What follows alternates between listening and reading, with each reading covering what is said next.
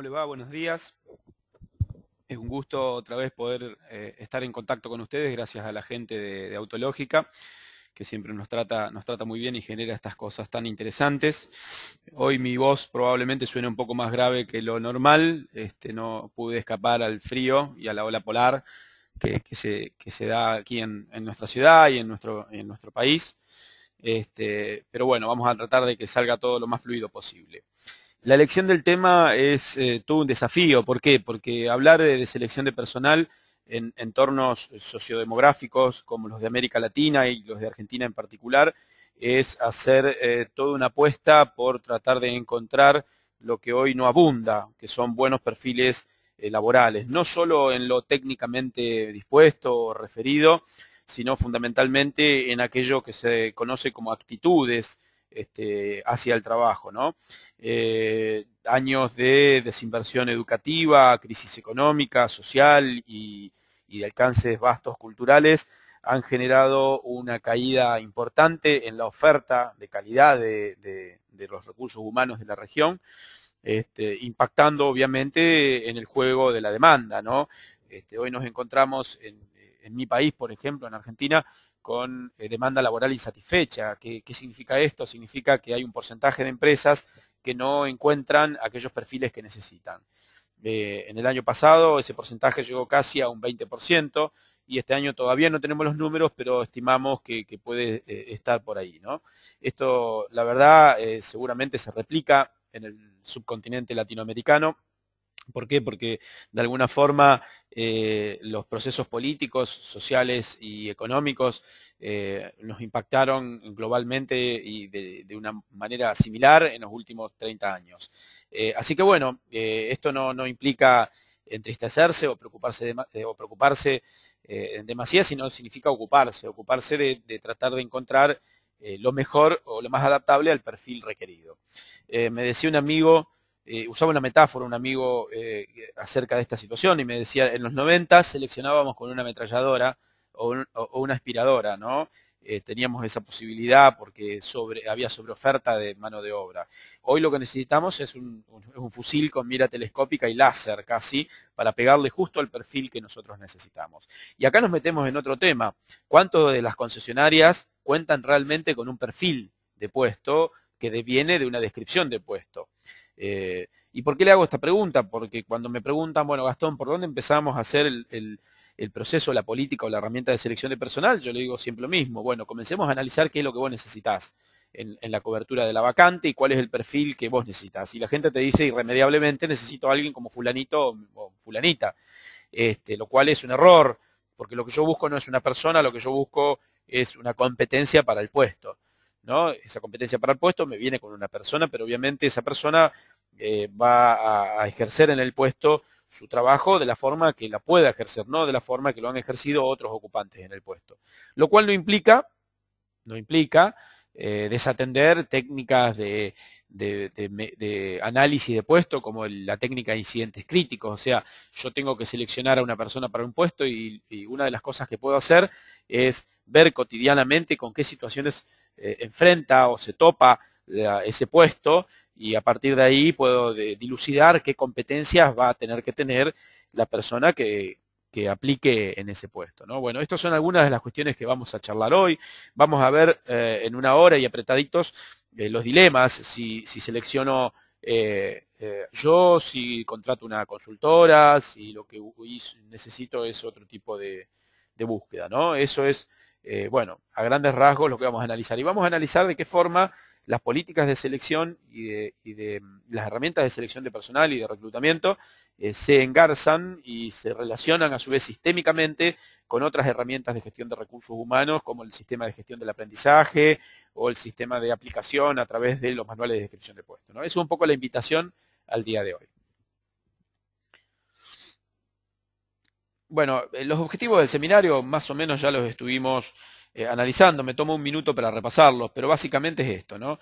Eh, que se identifique qué importancia tienen las políticas de reclutamiento, selección e inducción de recursos humanos en los indicadores de efectividad de la empresa. O sea, recursos humanos es un socio del negocio en esta, en esta herramienta. Si yo selecciono mal, afecto la, la efectividad y la eficacia de las operaciones y por ende eh, el valor agregado que éstas generen y, obviamente la rentabilidad de la organización. Si tengo altos índices de rotación porque tengo malas políticas de selección, este, también estoy afectando los números de la empresa y el negocio. Ustedes van a ver ahí en ese primer objetivo tres puntos o tres, tres palabras que son fuertes en este flujo, porque es un flujo, insisto. Eh, hay que pensar las herramientas de selección, hay que pensar las herramientas de recursos humanos bajo la lógica y la, teoría de los fluidos. Son fluidos, fluyen constantemente, no son compartimientos estancos. Por lo tanto, yo tengo que pensar que en realidad la selección arranca con el reclutamiento. ¿Qué significa esto? Esta palabra militar, que viene del militarismo, es, es, una palabra muy interesante. ¿Por qué? Porque lo que yo estoy haciendo es buscando siempre, ¿no? El negocio hoy de las concesionarias es un negocio en el cual yo necesito buscar siempre. Eh, no solo el de las concesionarias, el de cualquier tipo de, empresa, hoy necesita ese, reclutamiento constante. Y ese reclutamiento constante tiene que ver fundamentalmente con, tener dispositivos que busquen en el mercado laboral eh, aquellos mejores perfiles. Sea esto una muy buena base de datos, sea esto una muy buena relación con instituciones de educación superior o media, ¿no? o la construcción de de un sistema que nos permita que los interesados a trabajar en nuestra empresa puedan dejar sus currículum vitae. Algunas concesionarias que conozco están incluyendo en sus páginas web eh, un link de, bueno, si te interesa trabajar con nosotros, envía tu correo, tu currículum vitae a este correo electrónico o completa esta base. Eso sería un buen paso, ¿no? A través del reclutamiento yo lo que tengo una base que después me va a permitir la segunda instancia, una selección. Y luego eh, el proceso de inducción, o sea, el proceso de ingreso efectivo de la persona a mi organización, tanto en términos legales como en términos laborales o procedimentales. Em, vamos a analizar también eh, cómo, eh, se vinculan estas políticas con los procesos de la organización, como los procesos de retención de personal, o de seguimiento y coaching o de gestión del aprendizaje. Bueno, vamos a ver el impacto sistémico de la herramienta de reclutamiento y selección fundamentalmente.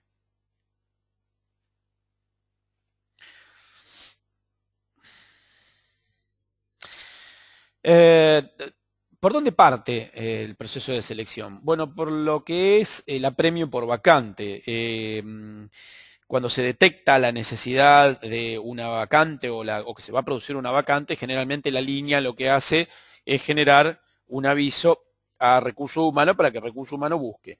Si hay oficina de recursos humanos, si no se busca en administración. Acá ya tenemos dos problemas. El primer problema es el apremio, o sea, la urgencia. Y el segundo problema es la escasez, que estábamos hablando antes en cuanto a la oferta.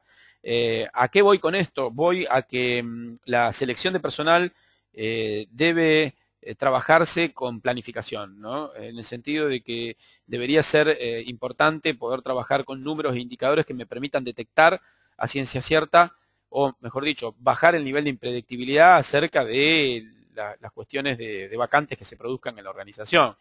Esto se conoce como presupuestación de mano de obra, por ejemplo, saber, o planeamiento de recursos humanos, saber eh, el año que viene, por ejemplo, a partir del plan de negocios, cuántas vacantes voy a necesitar cubrir. Hay otras vacantes que se van a dar naturalmente por despido, por eh, renuncia eh, o por jubilación. Bueno, yo también tengo que tener previsto de antemano cuáles van a ser las herramientas rápidas. ¿no? Si no tengo una buena base de reclutamiento, una urgencia de cobertura me, sale mucho más caro que, si tuviese una base ya preparada. ¿no? Bueno, este es uno de los temas que tenemos que hablar. Si voy a seleccionar, la selección no es urgencia. La selección es planificación. Realmente te dicen necesito gente. ¿Para cuándo? Y para la semana que viene. Es imposible. Realmente es imposible porque todo proceso de selección implica pasos que uno tiene que dar, implica evaluaciones que uno tiene que hacer, implica procesos de inducción, por lo tanto esas coberturas automáticas no se pueden o son muy difíciles de hacer.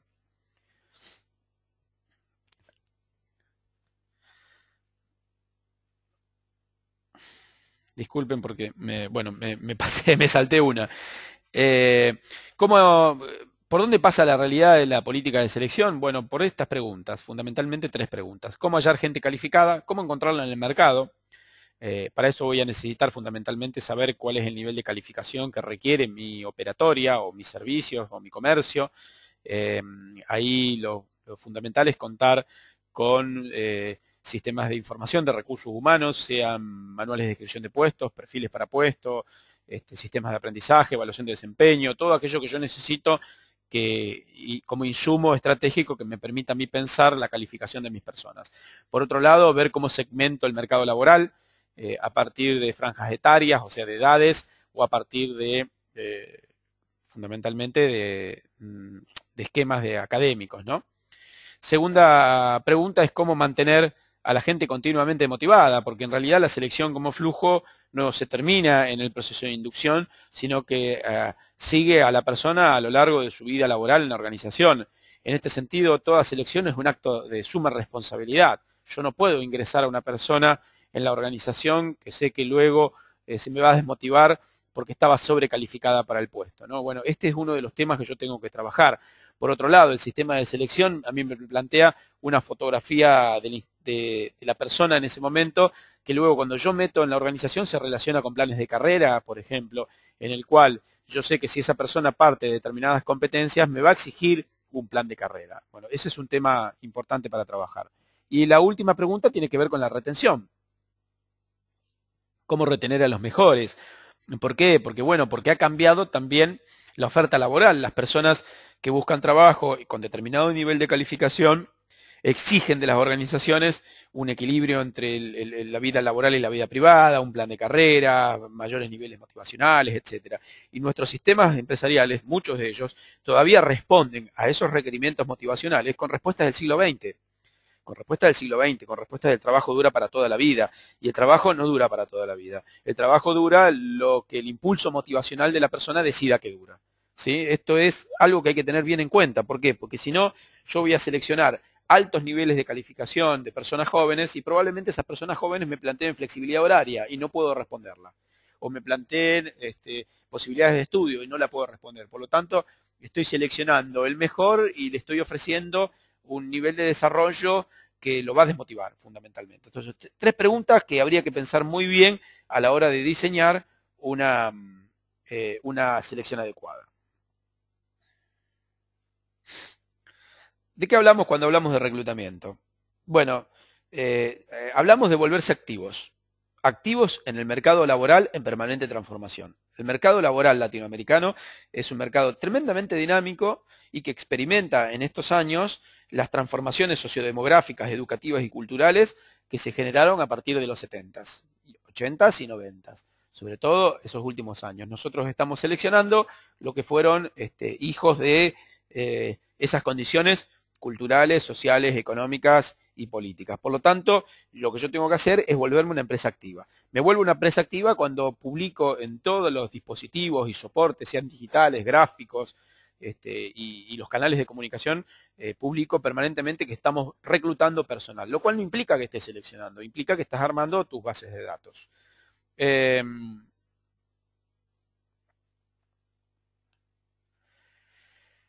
Una vez que yo armé mi base de datos, que la tengo segmentada, dividida por, franjas de edad, por calificación, etc., es importante contar con un perfil. Es el insumo básico que el selector tiene a la hora de buscar el mejor candidato. Eh, en este sentido, recuerden lo que yo les decía antes, ¿no? El perfil se constituye a partir de las competencias del que exige y va a exigir el puesto, no a partir de la descripción de los atributos o características personales de un eh, ocupante de, ese puesto. ¿no? Fundamentalmente esto eh, a veces parece una verdad de perogrullo, pero es fundamental repetirlo.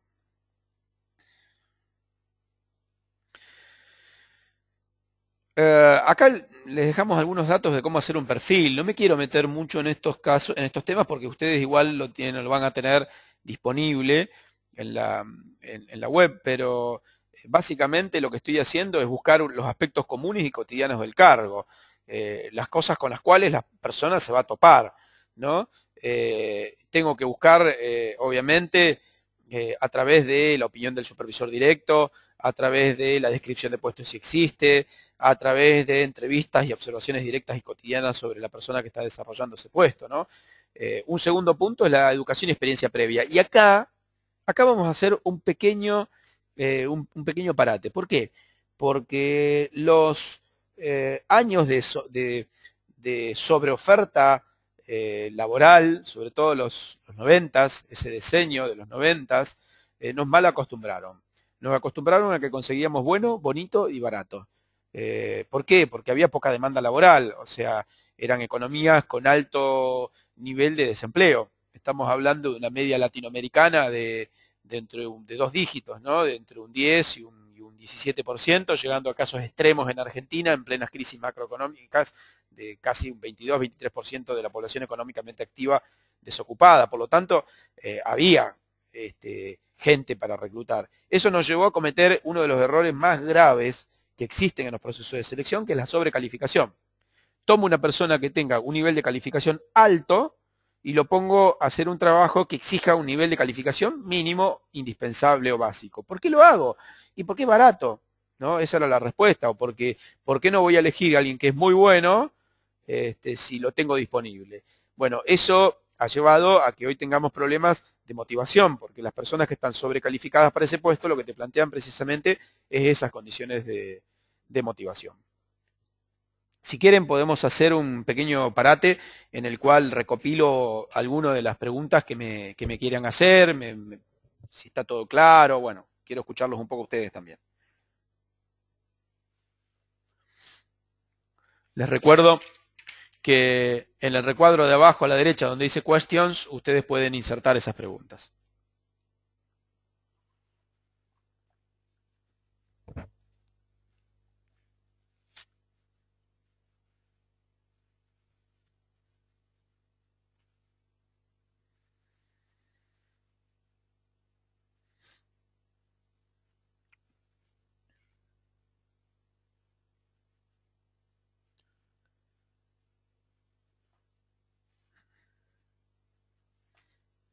¿Está todo claro hasta ahora?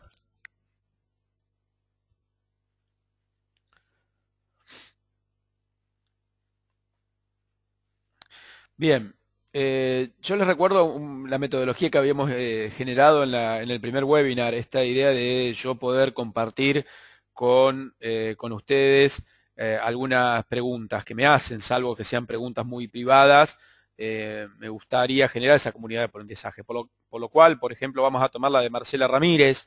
Marcela dice, ¿a qué se refiere cuando dice técnica de incidentes críticos? Eh, fundamentalmente hacer un seguimiento cotidiano de aquellas situaciones con las cuales el puesto se topa, ¿no? Aquellas situaciones que tiene que resolver, eh, aquellas situaciones que son más complicadas, eh, aquellas cuestiones que el, ocupante de ese puesto va a encontrarse cuando tenga que elaborar cotidianamente esos incidentes críticos, eh, por ejemplo, te van a permitir, Marcela, y le van a permitir a todos ver cuáles son los puntos más ríspidos o cuáles son los puntos más complejos eh, que se topa diariamente ese puesto en la operatoria laboral. A partir de eso yo puedo inferir qué competencias básicas de aptitud técnica el puesto va a necesitar y qué competencias eh, de nivel superior o metacompetencias actitudinales va a tener que desarrollar.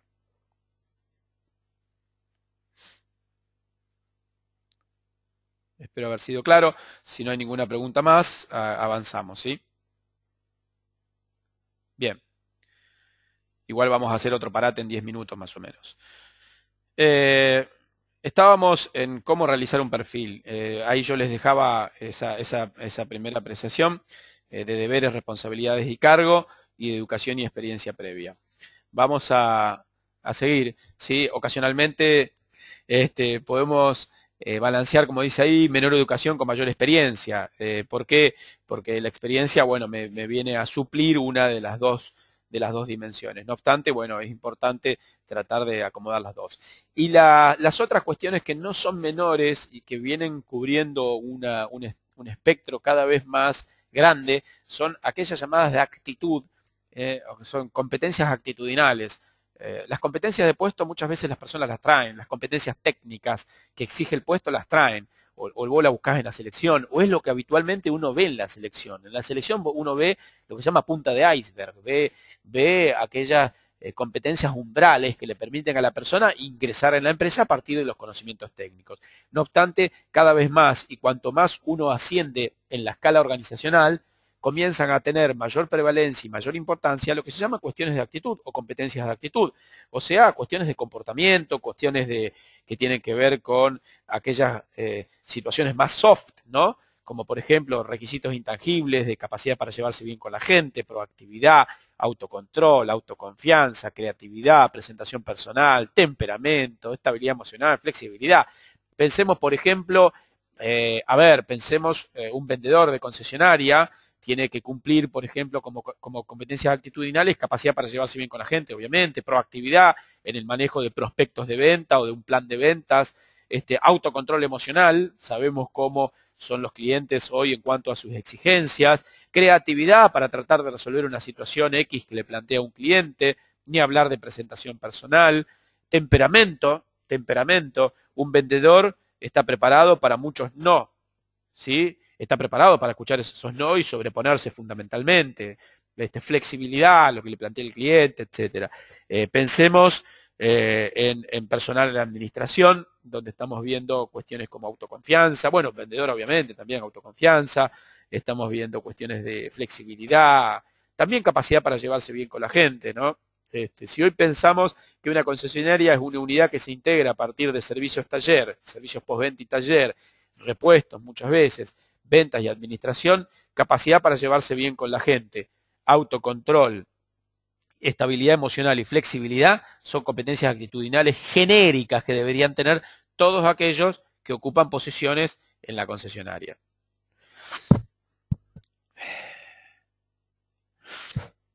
¿Cuáles son las ventajas y desventajas del reclutamiento interno y externo? O sea, yo tengo dos opciones a la hora de cubrir una vacante. Esto que se llama reclutamiento interno o job posting o autopostulación, que implica un movimiento de búsqueda interna eh, promocional en eh, lo ya existente en la concesionaria o en la organización. Em, de movida les digo que esto genera eh, un impulso motivacional muy fuerte ligado a la carrera, por ejemplo, de las personas, una mayor motivación interna que es más económico, sí, porque vos ya tenés tu base de datos, tus referidos, tus conocidos, que es mucho más rápido, sí, porque la persona ya conoce a la, empresa, sus productos y su cultura, y que de alguna manera implica un retorno de la inversión en formación.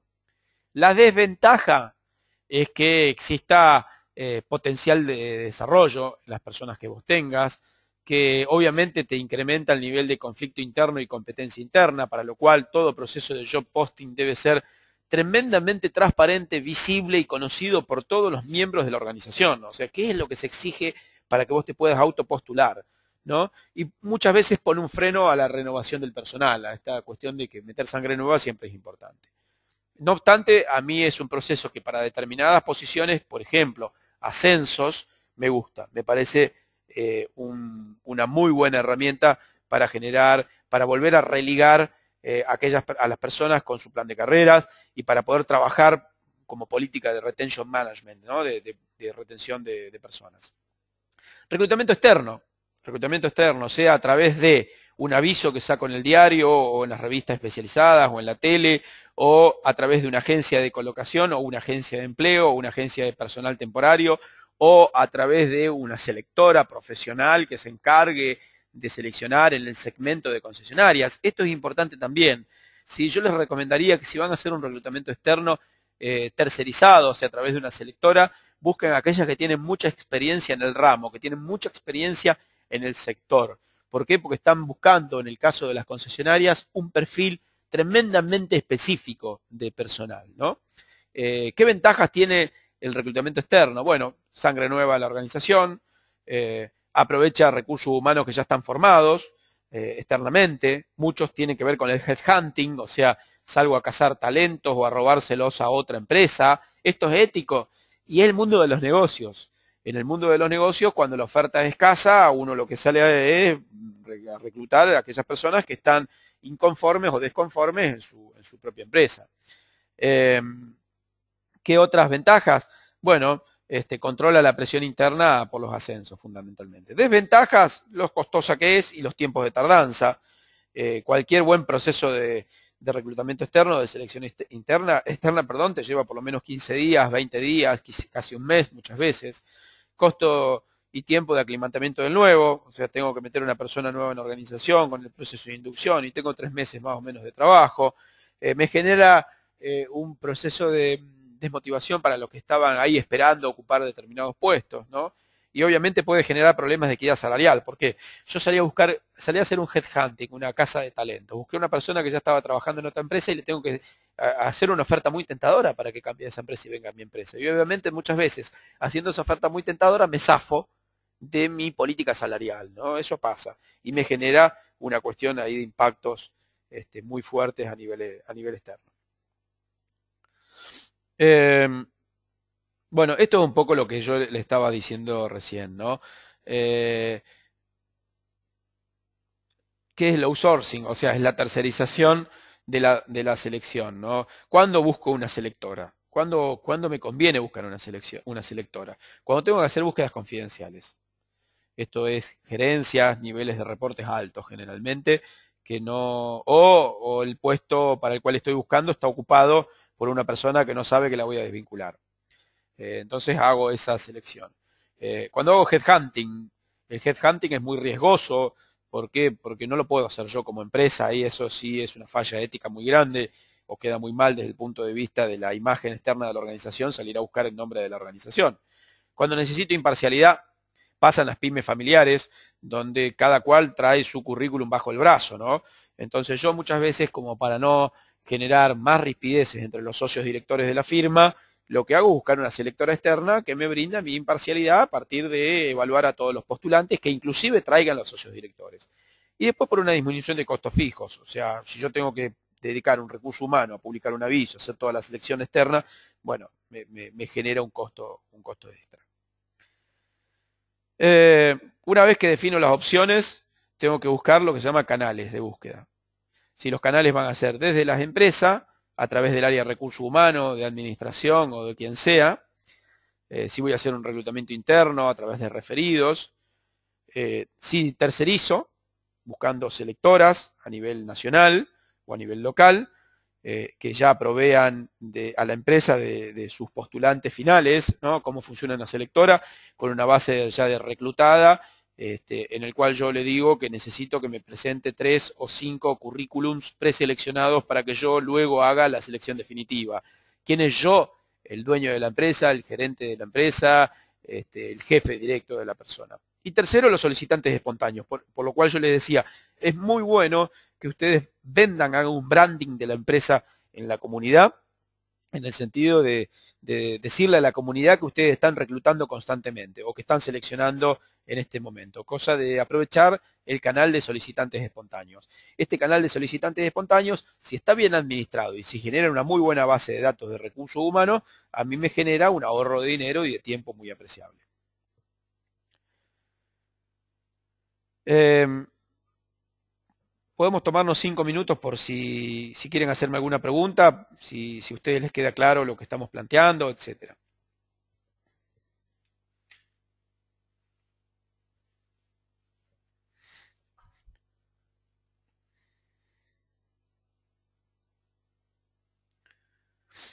Recuerden ir al recuadro de questions, etc. Bueno, la pregunta que me hace Leandro, la verdad que no, no, se la puedo responder. Eh, no, no porque no, no corresponde. Leandro me pregunta si podemos recomendar alguna selectora. Eh, todas las importantes que hoy están en el mercado son buenas. Eh, desde aquí, obviamente, yo no lo puedo hacer porque, porque bueno, es un canal de, de autológica. Lo que sí podemos hacer es si ustedes me envían un correo electrónico a la dirección que ustedes ya conocen o inclusive a, la gente de ATL y ATL me lo reenvía a su vez a mí, yo le puedo hacer una recomendación en privado de alguna selectora, no hay ningún problema.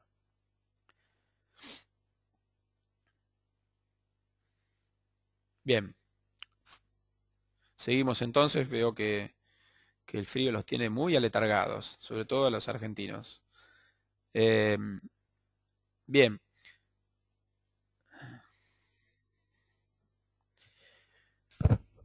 Estoy leyendo em, un mail, un mensaje, perdón, de Ima Pruna y alguno de Elaine. Ahora lo voy a responder.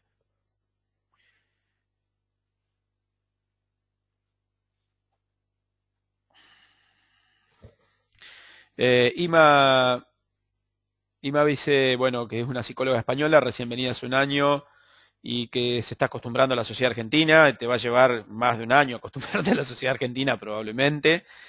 Y, y bueno, en primer término, eh, era flexible, dice Ima. Eh, y de pronto tuve que volverme más drástica. ¿Será negativo? Esto parece eh, un consultorio médico. Me duele tal cosa. ¿Será negativo? no, yo creo que, que, la rigidez que plantea Ima es fundamental en la selección. ¿Por qué? Porque porque somos una cultura muy particular, somos una cultura muy particular y el momento de la selección incluye dureza muchas veces, no solo flexibilidad, incluye la dureza de decirle a una persona que no califica, incluye la dureza de decirle a un currículum que no, directamente, ¿no? Eh, eh, no puedo decir, el, no puedo nombrar a la empresa, pero tengo casos en los cuales por una muy mala selección, eh, una concesionaria eh, había ha contratado mal y ha generado, ha generado para sí problemas de mantenimiento y de, de, sostenimiento de la persona dentro de la organización. Por lo tanto, IMA me parece que es fundamental, en cierto sentido, ponerse, ponerse rígido. Elaine Toledo plantea eh, desde Onda, creo que lo importante de una selectora es que sea una suerte de socia con la empresa en el proceso de selección. Es fundamental y dejárselo bien claro dejárselo bien en claro. O sea, ¿qué pasa cuando una selectora, por ejemplo, hizo una selección muy lábil, muy, muy livianita, y me tiró cinco currículum por la cabeza casi desprejuiciadamente, y no funcionaron ninguno de los cinco?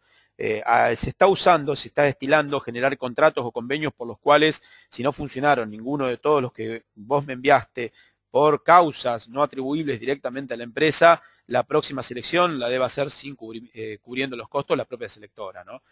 Este, entonces, me parece que eso también es importante y que ustedes lo tienen, eh, lo tienen que aclarar.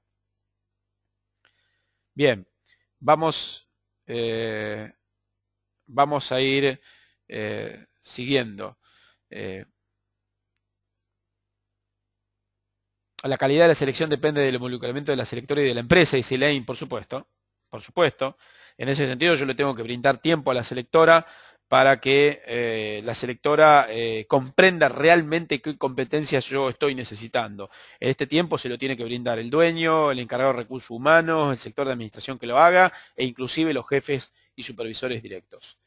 Respondiendo a Julio Álvarez que me pregunta dónde puede eh, bajar esta presentación, en el Facebook de Autológica, www.facebook.com barra autológica.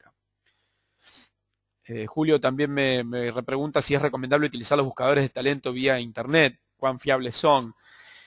Eh, la verdad no, no, tengo mucha experiencia en esa búsqueda, prefiero todavía los métodos tradicionales, ¿no? Este, en ese sentido, cuando uno busca talento, necesita eh, una precisión mayúscula en la herramienta de, de selección. Y la Internet es un océano de conocimientos de un centímetro de profundidad muchas veces. Por lo cual yo lo que puedo hacer es un primer reclutamiento en todo caso, pero no, no confiaría demasiado en determinados, en determinados buscadores de talento. Y muchos de ellos son eh, herramientas externas de selectoras físicas, ¿no? por lo cual eh, me parece yendo las selectoras físicas tienen más fiabilidad. Bien, pasamos. Eh, pasamos porque estamos medio eh, apurados con, el tiempo.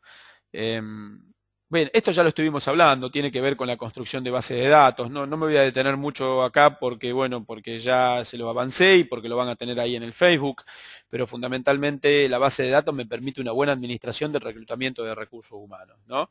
Eh, sí me gustaría que ustedes vean el tercer punto donde dice fuentes de referencia externa, las fuentes de referencia externas son universidades, instituciones técnicas, colegios, sindicatos, asociaciones profesionales, el mismo Estado. El Estado tiene agencias de colocación y empleo en algunos de los países. Hay que buscarlos, hay que contactarse con esas personas, hay que tener una buena red, ¿no? Hacer un buen networking, ahí tener una muy buena red de referentes e informantes clave. ¿Por qué? Porque esas instituciones, sean universidades, colegios técnicos, sindicatos, centros comerciales, centros industriales, asociaciones profesionales y el mismo Estado ya tienen una base de datos que yo muchas veces no tengo por costo o por tiempo.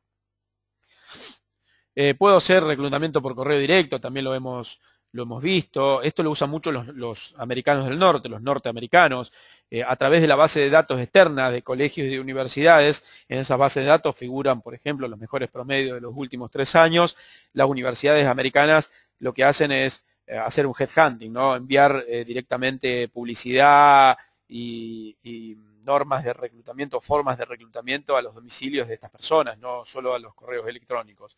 Nosotros no lo tenemos muy extendido todavía en nuestro país, ni siquiera en Latinoamérica, pero es una muy buena herramienta para sorprender generalmente a aquellos talentos. Eh, esto esto es si, bueno, uso determinados canales dentro de la empresa. Ahora bien, si tengo un departamento de recursos humanos, o sea, yo soy una organización que tiene una estructura y un diseño organizacional determinado que me permite tener un departamento de recursos humanos o al menos dos personas en recursos humanos.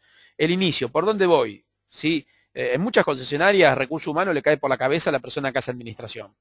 Este, le tiran, como ve que tiene papelitos en la mano y maneja mucho, algunos flujos de algunos procedimientos internos, le tiramos por la cabeza también recursos humanos. Y ahí hacemos crisis. ¿Por qué? Porque, bueno, hay que estar preparado para, determinadas cuestiones. ¿Por dónde empiezo? Bueno, empezaría yo definiendo el perfil, fundamentalmente. Eh, definiendo el perfil, a mí me permite establecer eh, lo que yo necesito. Elegir el canal de búsqueda, si va a ser espontáneo, referidos, interno, externo, vía selectora, un aviso en el diario. Preseleccionar los currículum vitae este, a través de tres columnas. Esto es casi algo muy artesanal, ¿no? Pero decir, bueno, este, recomendación fundamental, dos columnas, los no, los sí y los ni. ¿Por qué?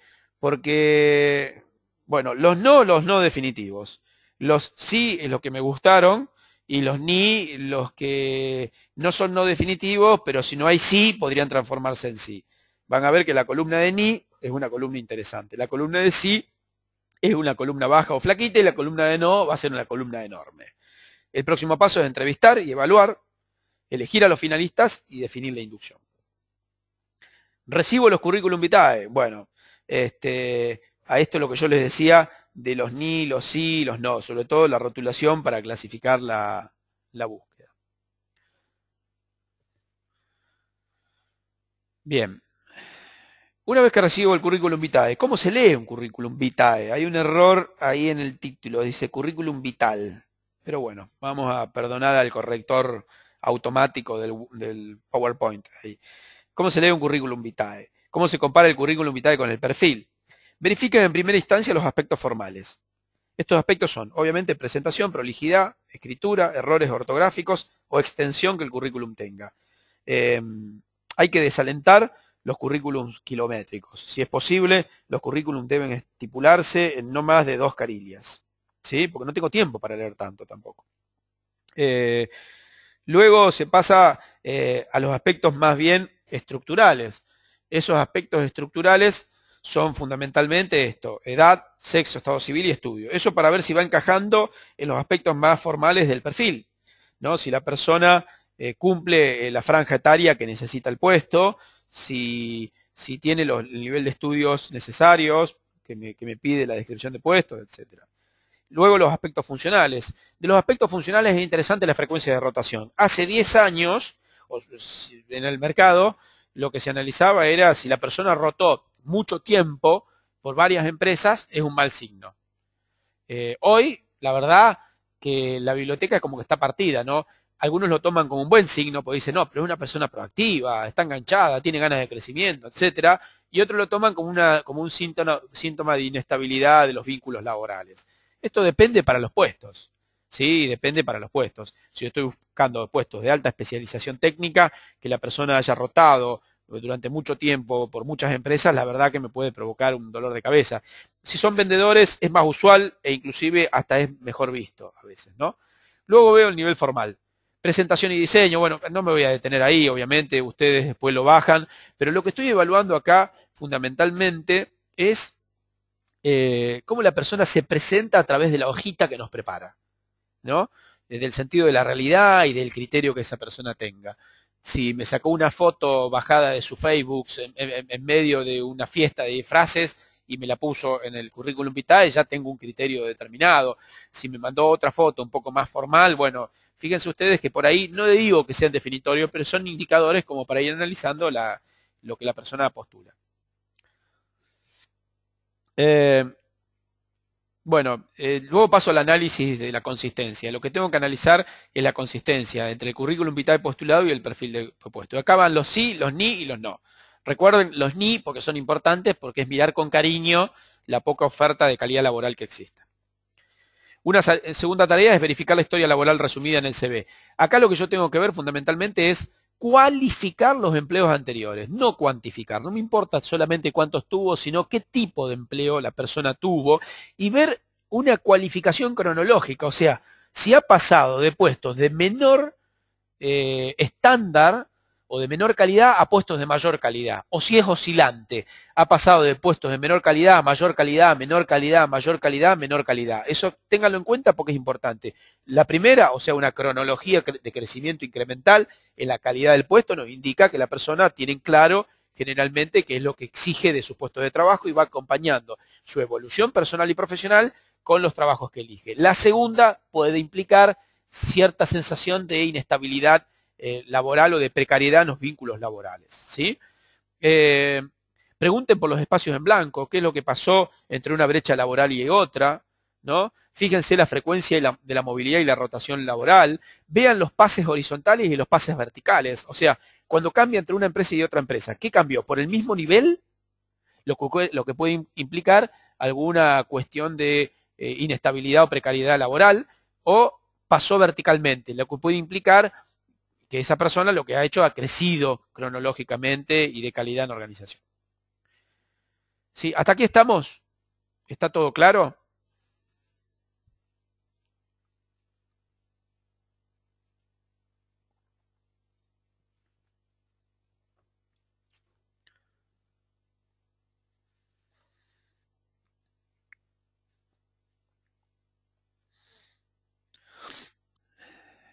Bien.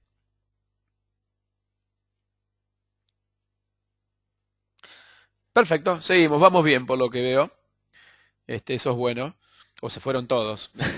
Pero he tenido tres respuestas al menos. Bien, seguimos. Eh, la entrevista de selección. A ver, eh, ideal que uno esté preparado para hacer entrevistas de selección. Si, si uno tiene formación eh, psicológica, este, fundamental. si uno tiene bueno, si ha hecho algún curso de entrevistas de selección, si ha participado de algún seminario sobre técnicas de selección de personal, también es, básico. Eh, lo que tiene que tener un selector es una buena calidad de preguntas y una amplitud de escucha activa. No es el selector quien habla, sino es la persona la que se debe explayar y el selector lo que debe hacer es hacer las preguntas correctas, las preguntas adecuadas en ese instante y en ese momento. Ahí está la diferencia. Fundamentalmente uno tiene que destinar tiempo suficiente a la entrevista. ¿Sí? Planificando, bueno, la reserva eh, en el ámbito donde se desarrolle la entrevista, porque le puedo llegar a hacer preguntas medio incómodas, no permitir interrupciones telefónicas o personales, tengo que estar tranquila en ese momento y tranquilo en ese momento en la selección. Verificar que el postulante se halle cómodo, ¿no? Este, ¿Por qué? Porque es un momento en el cual el postulante está en tensión de estrés, en tensión nerviosa, eh, se está jugando mucho, por lo tanto yo le tengo que favorecer la comodidad para que se pueda explayar. Eh, que se ocupen lugares destinados y apropiados a ambos. A mí me ha tocado hacer entrevistas en las cuales parecíamos este, que estábamos todos amontonados adentro de un ascensor, con incomodidad absoluta, en el cual la persona no podía desarrollarse ni podíamos tomar nota, ¿no? Eh, prevean realizar anotaciones. A mí me gusta mucho anotar sobre los, los CV, sobre los currículum vitae, aquellas cosas que me van diciendo las personas, o sobre formularios de selección, que existen formularios de selección muy básicos en los cuales uno anota eh, lo que la persona, la impresión que la persona le causó, los aspectos formales, si pasó o no pasó los, aspectos formales y si pasó o no pasó la entrevista. Pero es importante que queden con esas, eh, con esas anotaciones personales que les van surgiendo en el mismo momento de la entrevista, ¿no? Porque, bueno, son de alguna manera huella fresca. Eh, pregunten, realicen preguntas genéricas, generalmente cómo es su historia laboral, cuál es, eh, cómo es un día típico de trabajo para usted, son preguntas de inicio, son preguntas como para romper el hielo, son preguntas para que la persona se explaye y nos cuente y la escuchemos. Y a partir de escucharla, nosotros generemos la repregunta. No vayan con muchas preguntas prefabricadas. Las preguntas prefabricadas son las preguntas de inicio. Es decir, bueno, a ver, contanos un poco de tu vida, contanos a qué te dedicas, contanos qué es lo que, lo que vos solés hacer, contanos eh, qué relación vos tenés con el trabajo, etc. Eh, es importante eh, realizar preguntas claras, pónganse en el lugar del candidato, comprendan el nerviosismo. Algunos electores te dicen, no, se puso nervioso. ¿Y qué esperás que, que se ponga? Calmo, no es un Buda. No estoy seleccionando este, un Dalai Lama. Lo que estoy seleccionando es una persona que se está jugando mucho para acceder a un puesto que quiere y por lo tanto se va a poner nerviosa. ¿no? presten atención a las verbalizaciones. Eh, la persona dice lo que quiere decir. Este, inclusive cuando quiere ocultar algo. Por lo tanto, tengo que prestar mucha atención a lo que la persona verbaliza. ¿Qué sé yo? Me ha pasado, por ejemplo, estar seleccionando a un encargado de despacho eh, de logística para un depósito de una empresa y yo estar haciendo la selección con el dueño y el dueño le gustaba cómo venía la entrevista y a mí se me ocurrió hacerle una pregunta no tramposa, pero sí una pregunta para ver cómo la persona me responde. ¿sí? Y, y le dije, le hice una pregunta muy simple, digo, bueno, ¿vos con quién vivís? Y esta persona me dice, bueno, yo estoy al cuidado de mi abuela, que es una persona mayor, que tiene algún problema, etcétera. Este, le digo, bueno, permíteme hacerte una pregunta simple de, de, lógica o de laboratorio. ¿Qué sucede si tu abuela no lo permita Dios, tiene algún accidente? Y se cae en la bañera y tiene un problema y se cayó a las 3 de la mañana o a las 2 de la mañana. ¿Qué harías vos? Entonces la persona me responde y dice, bueno, yo llamo a la emergencia, al hospital, al médico, al sanatorio, etcétera, agarro y la llevo. Este, y después, ¿qué haces? Le digo. Bueno, después llamo a mi mamá, a mi familiar, a la familia de mi abuela, a la obra social, etcétera. Y después, ¿qué haces? Y después sigo este, con mi contacto, llamando a tal cosa. Y, después, ah, y después los llamo a ustedes. Eh, lo cual para mí eh, me generó una dualidad ética, porque digo, le hice una pregunta capciosa, una pregunta eh, que lo pone en un dilema y no me respondió lo que yo quería que me responda. En primera instancia quizá me debería haber respondido, no, mira, este, yo me ocupo de mi abuela, eh, pero automáticamente te estoy llamando y estoy avisando a la empresa que yo tengo este y este y este problema y generemos un plan B. ¿Por qué? Porque yo estaba buscando un encargado de logística, estaba buscando un encargado de despacho de un depósito que tenía que abrir a las 5 de la mañana, para las 7 de la mañana, a las 6 de la mañana, perdón, los camiones estén cargados, para las 7 de la mañana tener el despacho ya listo, para que a las 8 de la mañana los productos estén en las, sucursales, para las 9 de la mañana estar vendiéndoselo a un cliente. Y el relato que me hacía esta persona es que recién a las 10 de la mañana, 11 de la mañana, quizá en una de esas me llamaba o no me llamaba. ¿no? Entonces, son preguntas tramposas, son preguntas este, que lo ponen en un dilema crítico. Eh, de aquí me quedo con esto, fundamentalmente. Eh, no transfieran, no, no, traten de inducir respuestas eh, de acuerdo a sus simpatías, traten de inducir respuestas de acuerdo a situaciones laborales que se van a topar, ¿no? como yo hice recién con este ejemplo del depósito. Eh, traten de, ver, de hacer una pregunta a la vez, eh, traten de no proyectar en el otro, de no proyectar qué cosa, y de no proyectar simpatía, de no verse reflejados en el otro, porque eso va a contaminar el proceso de selección. Algunos consejos muy rápidos, eh, familiarícese con el perfil que el individuo va a entrevistar, del individuo a entrevistar, perdón, eh, permita que el entrevistado hable y se explaye. Es el momento del entrevistado, no es el momento del selector para que se luzca, ¿no? Realicen preguntas focales sobre historial de trabajo, educación este, obtenida y competencias del cargo vacante, focales, focales. Traten de ver si esa persona va a ser flexible, si el perfil dice flexibilidad, o va a ser rígida si el perfil exige rigidez. Eh, hagan, hagan preguntas en las cuales las personas puedan ver cómo innovan, por ejemplo, si quieren buscar flexibilidad. Permitan que el solicitante realice preguntas. En la pregunta muchas veces está el proceso intelectivo, o sea, una persona que puede realizar una muy buena pregunta es una persona que tiene capacidad intelectual este, interesante. Estimulen a que hable, vean el proceso de verbalización y construcción de argumentos coherentes. Vean cuando ustedes le pregunten si, bueno, contame cómo es un día típico de tu vida, contame cómo fue tu historia laboral.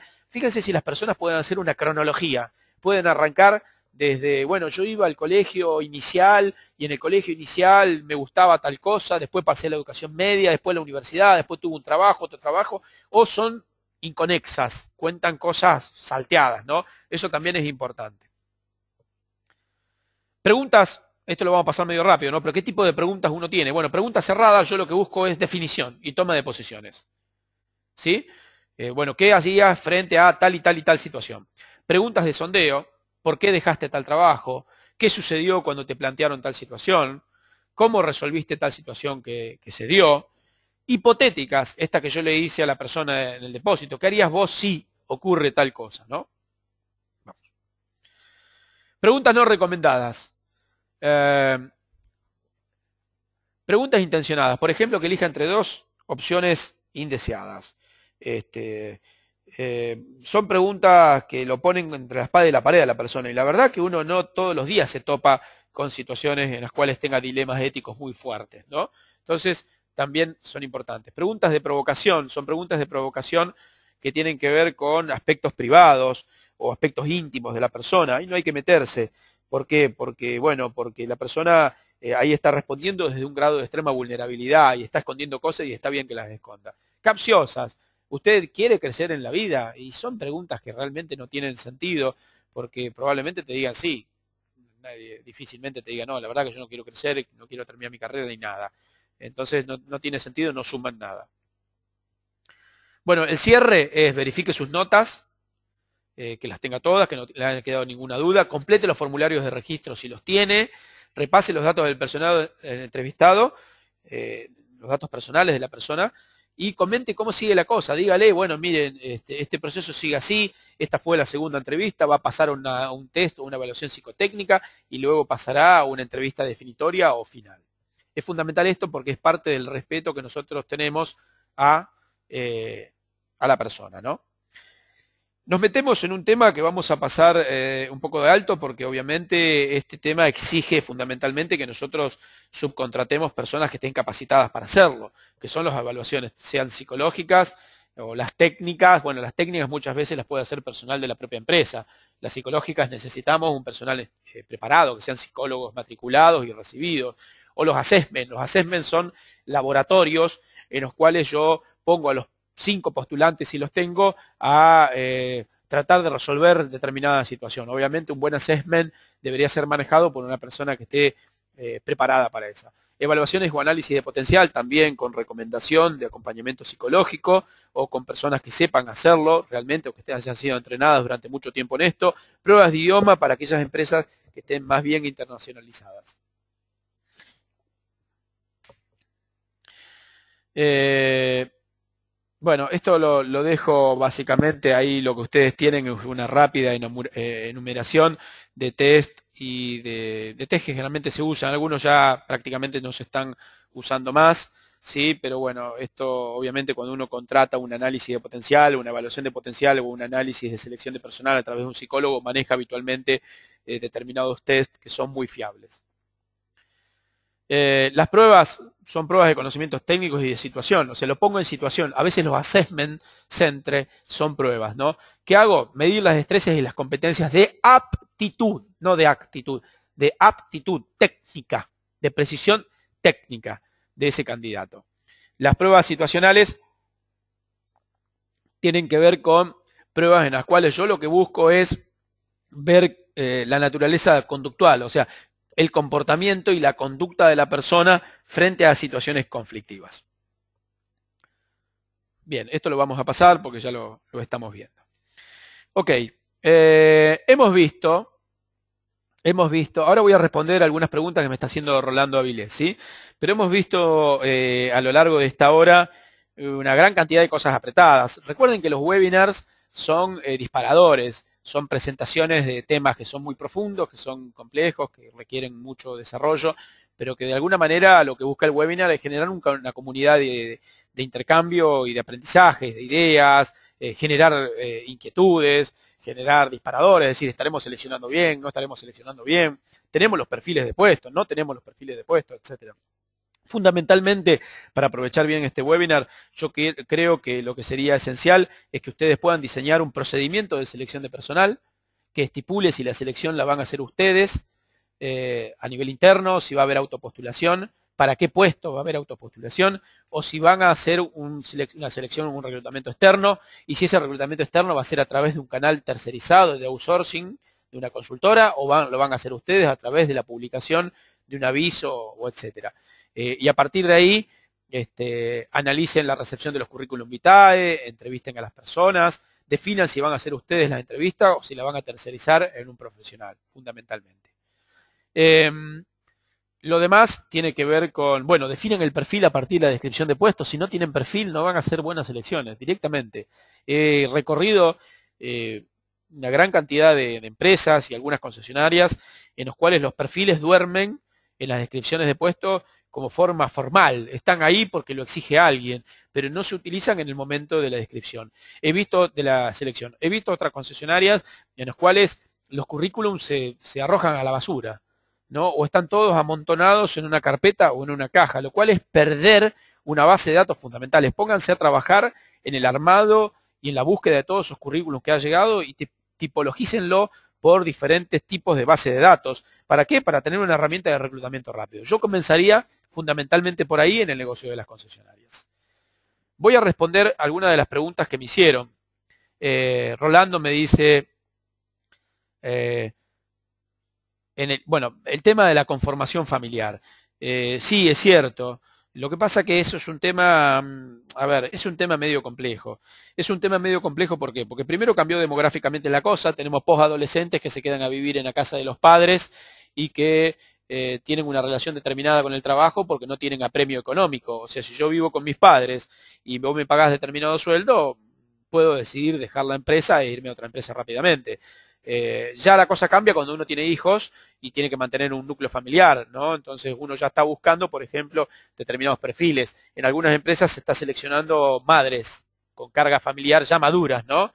Este, ¿Por qué? Porque tienen una fuerte contracción al trabajo y una mucha responsabilidad de, carga familiar. Eh, en ese sentido, la conformación del grupo familiar es importante porque te da algunos indicios, te da algunos indicios de cómo las personas se van a, eh, a, comprometer con la organización.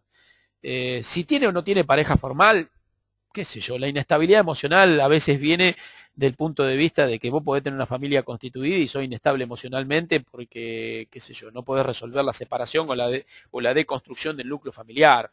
Yo creo que la estabilidad emocional es muy difícil de medir porque tiene que ver con la cotidianidad de la persona. Te vas a enterar probablemente en el mismo momento en los cual la persona esté laborando, para lo cual por eso es importante afinar mucho con profesionales psicológicos de la psicología el momento del análisis de la selección del personal. Eh, Marcela Ramírez comparte algo con nosotros. Eh, es fundamental preparar las preguntas con anterioridad en la entrevista. Sí, por supuesto, Marcela.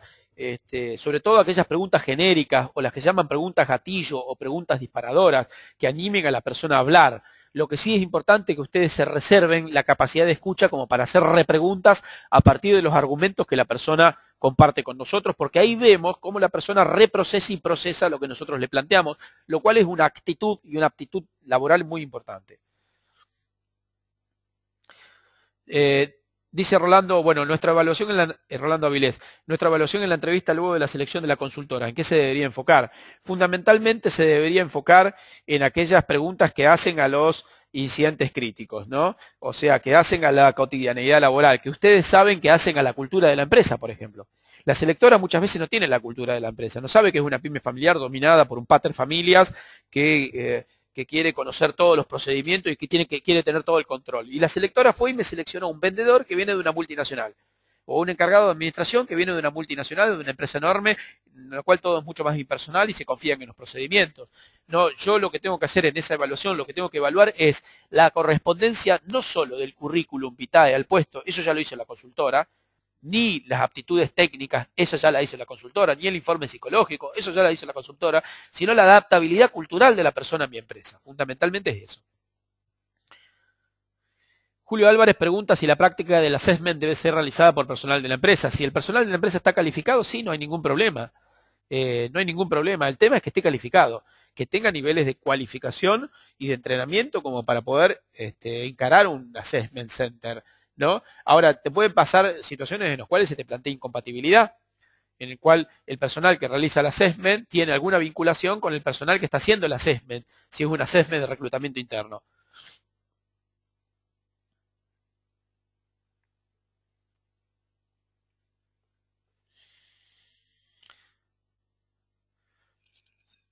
Eh, bueno, Julio me repregunta eh, cuáles son esos niveles. Eh, si me podés reformar la pregunta porque no, alcanzo a, interpretarte. Quizá es demasiado ibuprofeno que tengo en la sangre y no es tu, pregunta, ¿no? Pero, pero bueno, la práctica del assessment, a ver, el personal de la empresa puede hacer un assessment, creo interpretarte, si los niveles que se están reclutando o seleccionando no son niveles de reporte gerencial, por ejemplo. Auxiliares administrativos, administrativos, vendedores junior, no estoy buscando un gerente de ventas, no lo puede hacer el personal de la empresa, probablemente lo deba hacer una selectora muy preparada para esos niveles de complejidad.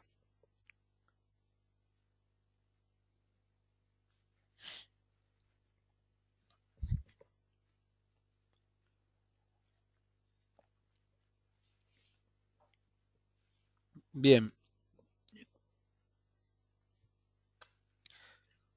Si tienen alguna pregunta más, encantado en responderla. Si no, eh, al, foro de, ATL. Este, ahora les voy, a, les voy a pasar para el cierre eh, a, la gente de ATL como para que les recomiende por dónde encauzar todo el canal de, de consultas que me están haciendo. Para mí fue otra vez un gusto compartir este, este momento y esta hora con ustedes. Es una práctica eh, muy interesante porque nos conecta, conecta eh, distancias a través del tiempo, conecta geografías y, creo que lo, más valoroso de todo esto es, generar esta comunidad del aprendizaje. Eh, de mi parte, muchísimas gracias. Fue un placer estar con ustedes y los espero en el próximo, en el próximo webinar.